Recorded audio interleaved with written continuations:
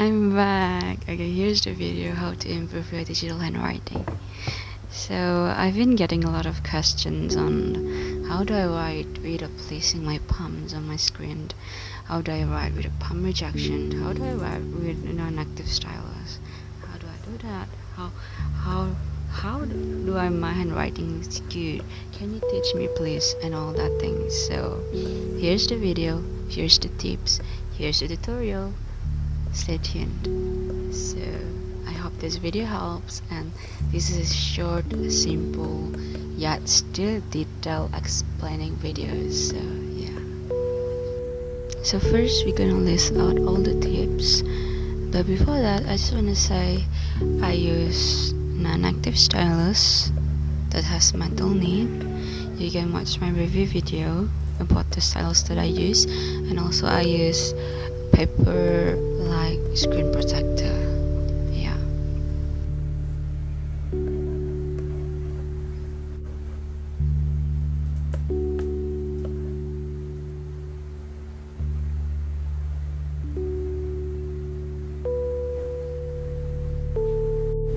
First of all is paper templates and this will help as your guidance.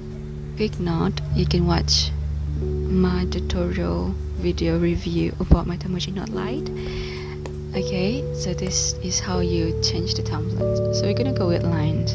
We're gonna try write with lines and even show you how these templates can help you in getting more cleaner cleaner and neater handwriting. So why is it better to have uh, something like grids or lines not a plain paper to write because those lines can guide you. It makes your handwriting your writing to be more aligned. It is just like writing on physical book physical paper. Writing on line page is easier compared to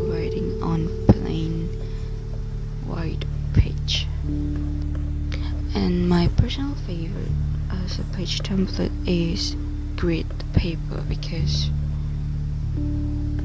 it's helped me a lot. I prefer grid paper compared to single line paper.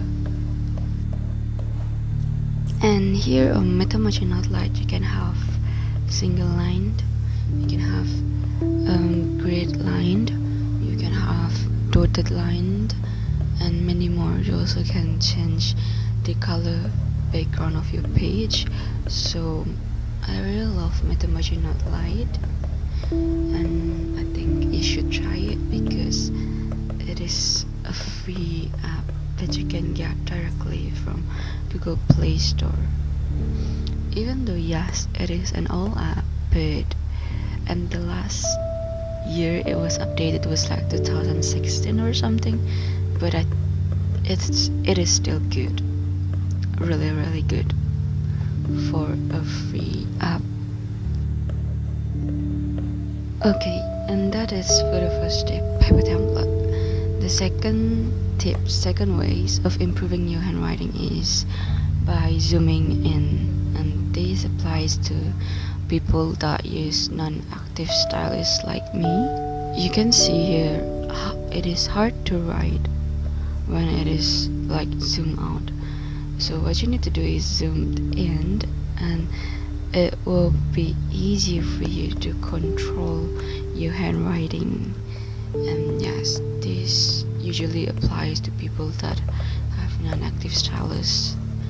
But I think if it's active stylus it won't be an issue. So yeah just zoom into your page and write see the difference between zooming out and zooming in and you can see the difference that your handwriting gets better. And I think this is the main key of writing digitally neater and cleaner especially for those that didn't have active stylus or have a device that didn't support active stylus so moving on to the third tips is pens for writing.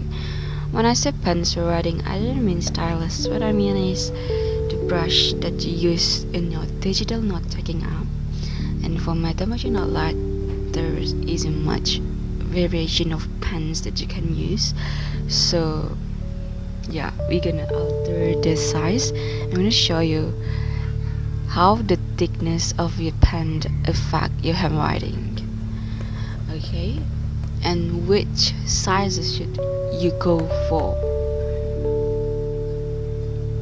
So this is the different thickness 6 and 2 and you can see the bigs different already now okay? So oh my god. So the key is of low thickness for small handwriting and higher thickness for big handwriting. So if you want to write something big go for big thickness. If you want to go for if you want to write something small go for low thickness. Yeah as simple as that. Okay, now the fourth tip. So writing pad this is actually not always available on all digital note taking app but it is available on Metamoji Note Lite so yeah.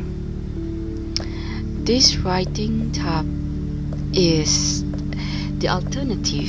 If you want to write without zooming in you can use writing pad so you can just zoom out and just and just have the writing pad zoomed in for you. So you don't have to zoom in yourself so it is easy.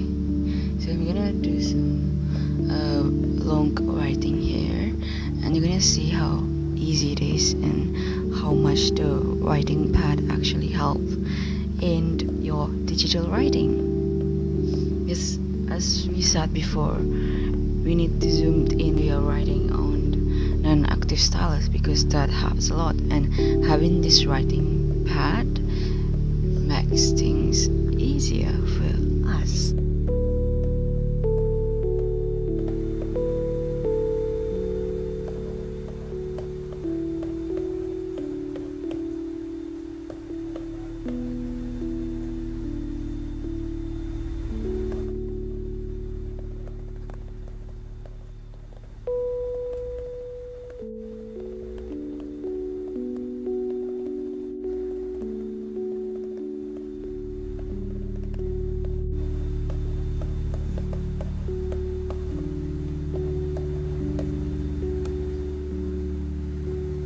So this is how they look like okay?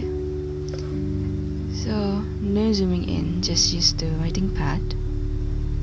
Now we're gonna move on with the extra tips on holding your stylus.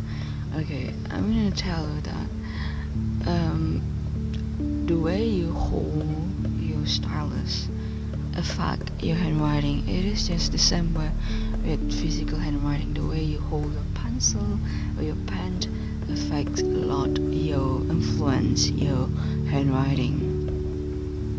And that is just how it is. So I'm going to show you the wrong way and the correct way of holding your stylus okay?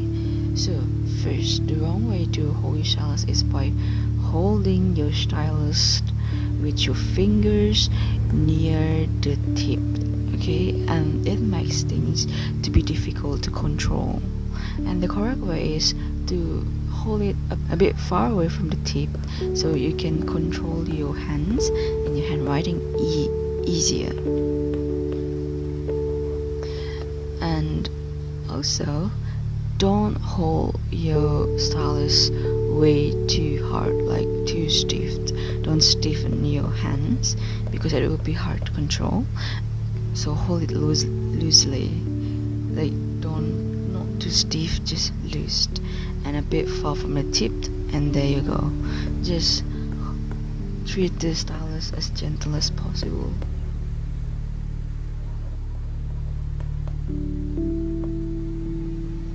So yes that's all for the video. I hope the tips help and the extra tips also help. I hope this whole video just helps you a lot. And thank you so much for the two point plus plus k subscribers. I'll see you again on the next video. Thank you for watching.